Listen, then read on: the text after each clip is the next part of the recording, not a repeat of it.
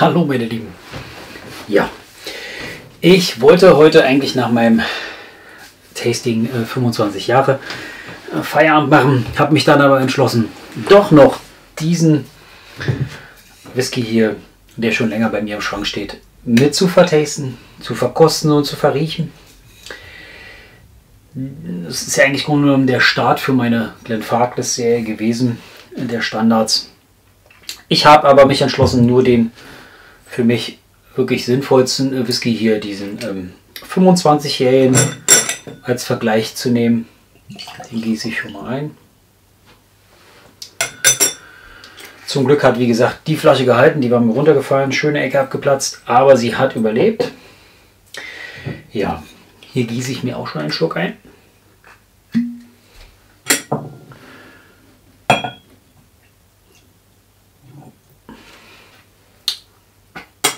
Ich versuche immer wieder den Deckel in die Flasche reinzudrücken. Ne?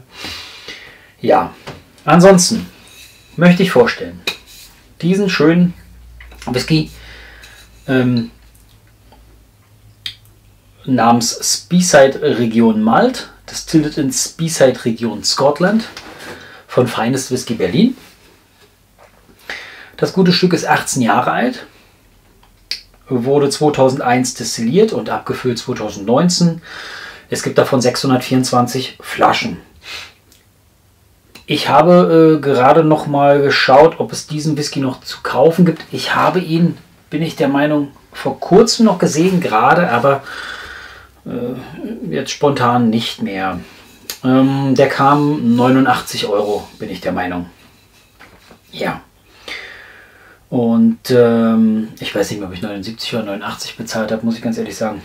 Aber so in dem Dreh hat 45,6 Prozent. Und ähm, dieses Motiv hier vorn ähm, ist das Motiv der Glenfarclas Brennerei.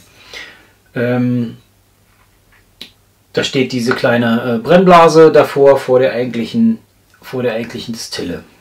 Steht da so mitten drauf. Kann man sich ähm, auf den Bildern, auf, auf, echten Bildern dann so auch mal ansehen. Also ich bin davon ausgegangen, ähm, es ist ja ein Secret Speyside, der Name darf ja wohl nicht genannt werden. Ähm, ich gehe aber davon aus, wenn ich mir das Bild anschaue, ähm, es ist die Glen Farkas Brennerei, ja, ähm, dann wird sicher kein Tulibanen da drin sein. Ja. Und abgesehen, dass ein Tulibanen, glaube ich, auch ein Highland Whisky ist. Ja, ansonsten ähm, ich hoffe, ich habe jetzt nichts Falsches gesagt. Nein, aber ist so. Ja, schönes Ding. Ja, äh, eingegossen habe ich schon. Und nun geht's ans Verriechen, Verschmecken, Verkosten. Ähm, was ich dazu noch sagen muss, wenn man sich die, ähm, beiden Farben ansieht, ja, dann ist das, ähm, das ist so ein richtig dunkler Ton. Ja. Ähm, der hier ist schon etwas heller. Sie sind ja alle nicht gefärbt. Bei der Flasche, ich muss ganz ehrlich sagen, ich gehe davon aus, dass sie auch nicht gefärbt sein wird. Das ist ja von einem unabhängigen. Ich habe es nicht rausbekommen, muss ich ganz ehrlich sagen, ja. Aber ich gehe davon nicht kühl gefiltert und nicht gefärbt, weil ich habe hier kleine Schwebeteilchen drin unten am Boden. Also wird sie nicht kühl gefiltert sein.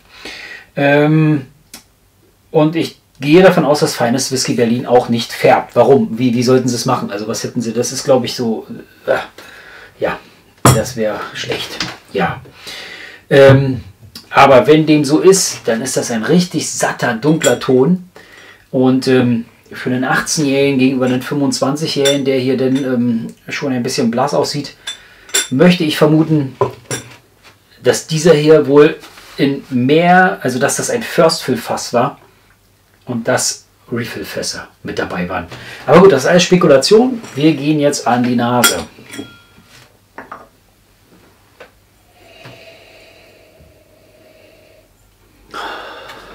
Ja. Und das ist der Grund, warum ich diesen Whisky so gerne trinke. Da kommt eine volle Packung Sherry entgegen. Und dann Süße, Und ich sag's, ich, ich weiß es schon, es ist jedes Mal wieder von neuem schön. Ich habe das Gefühl, man riecht hier rein und hat, ich will nicht sagen, einen Caipirinha-Geruch, aber es ist so dieser Geruch, wie wenn man ein Caipirinha-Glas ähm, mischt. Also wenn man den Caipirinha vorbereitet und macht dann ähm, den braunen Rohrzucker rein, die Limetten stampft das durch äh, und dann noch so eine leichte, ein leichtes Minzblatt mit rein. Ja, und dann kommt das Eis rein. Und nicht der Caipirinha. Ja, so muss man das mal sagen. Also es riecht wirklich nach leicht, leichten Limettengeschmack in braunem Rohrzucker zerstoßen. Also das ist immer das, was ich damit so assoziiere, muss ich ganz ehrlich sagen. Rotes Früchtekompott noch dazu. Das ist absolut eine super Nase.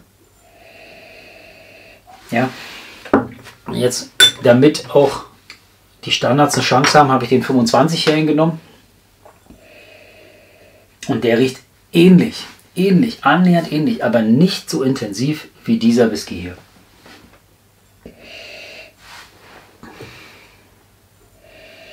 Viel, viel kräftiger, viel, viel kräftiger. Da drückt richtig so,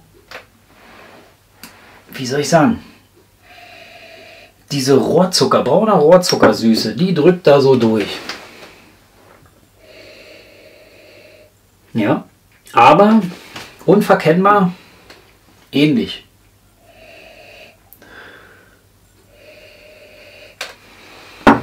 mal irgendwie eine andere Nase bekommen. Das habe ich mal, mal gesehen bei einem anderen YouTuber, dass man damit das wohl ähm, beheben kann, das Problem, dass die Nase äh, da zu belastet ist.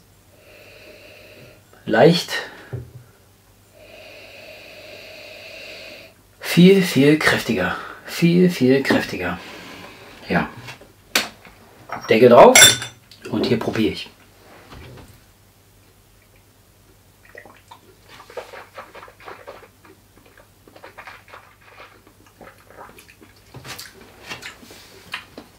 Oh. Voluminös. Der hat richtig viel Power. Süße, saftige Orangennoten. Legt sich im ganzen Mund herum. Und dann, ich kann mich gar nicht entscheiden. Ich würde sagen, eine leicht bittere Nussschokolade. Ein Gemisch aus Schokolade und Nuss, Haselnüsse.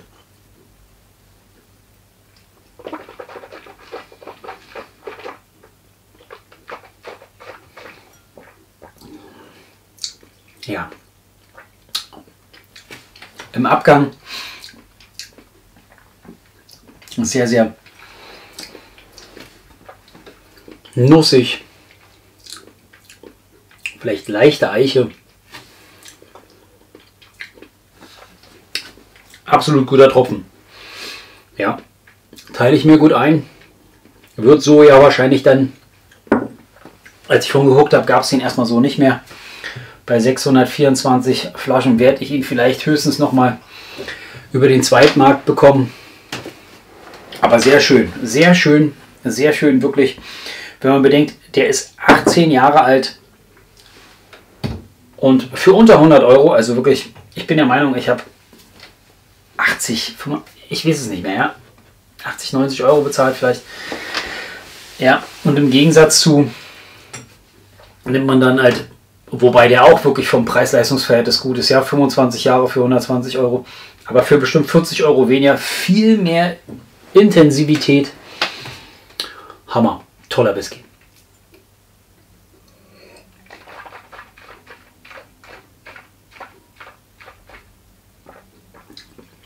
Ja.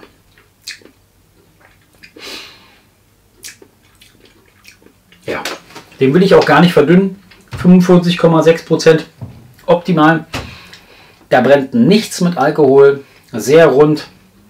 Und trotzdem hat der Power. Ja.